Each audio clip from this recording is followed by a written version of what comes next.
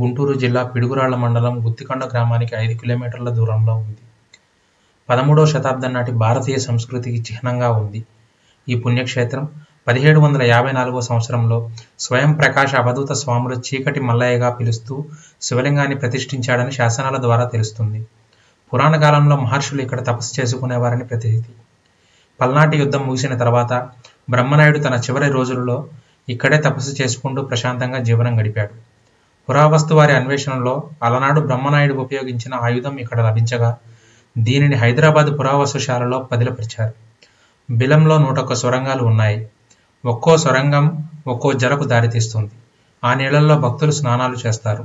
ప్రతి ఏడాది తొలి ఏకాదశి నాడు వైభవోపేతంగా తిరునాళ్ళు జరుగుతుంది. కార్తీక మాసంలో జిల్లాలో నలమూలల నుండి భక్తులు ఇక్కడికి తరలివచ్చి కోనేరులో పుణ్యస్థానాలు ఆచరించి చీకటి మల్లయ్యకు ప్రత్యేక పూజలు నిర్వహిస్తారు. ఈ బిలం ప్రకృతి సహజ సిద్ధంగా ఏర్పడింది. దీని లోపల అనేక అంతర్గుహలు, అద్భుత జలాశయాలు ఉన్నాయి. బిలంలో నూటకు సొరంగాలు ఉండగా ప్రస్తుతం వెళ్ళడానికి వీలుగా ఉన్న గుహలు ఏడు మాత్రమే ఉన్నాయి. ఈ బిలం నుంచి అమరావతి, శ్రీశైలం, కాశీ, తిరుమల ఇలా రకరకాల ప్రాంతాలకు మార్గాలు ఉన్నాయని భక్తుల నమ్మకం.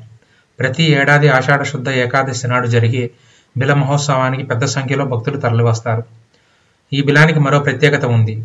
ఇది చలికాలంలో వెచ్చగాను వేసవికాలంలో చల్లగాను ఉంటుంది. నూటొక్క స్వరంగాలున్న ప్రాంతం రహస్యాలకు కేంద్ర బిందువుగా ఉంది.